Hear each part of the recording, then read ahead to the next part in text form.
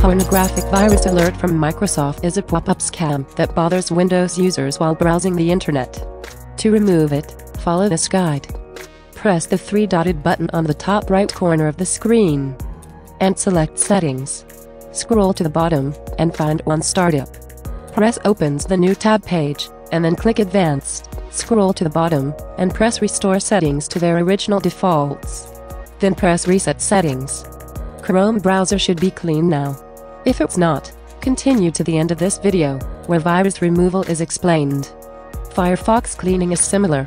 Press the hamburger icon on the top right corner of the Firefox window, and select Options. Then select Home from the list on the left, and change Home Page and New Windows to Firefox Home. Firefox should not show the alert. If it does, skip to the end of the video with removal instructions. Now, if Edge browser shows this notification, follow these steps. Press the three-dotted button on the top right corner of the window, and select Settings. Then change selection and open Microsoft Edge with To Start Page. All three browsers should now be clean and not show the devious notification. However, your PC still might have a virus inside, so it's highly recommended to scan your PC with a reputable anti-spyware software. To do that, open 2-spyware.com website, find Malwarebytes anti-malware review, and press download.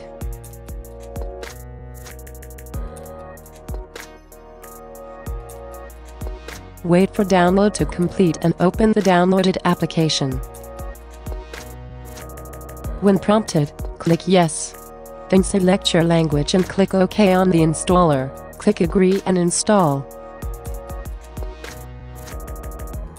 Wait for the installation to complete, and press Finish.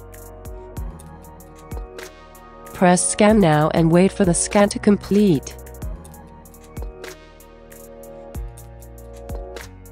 When the scan is finished, select all items and click Quarantine Selected.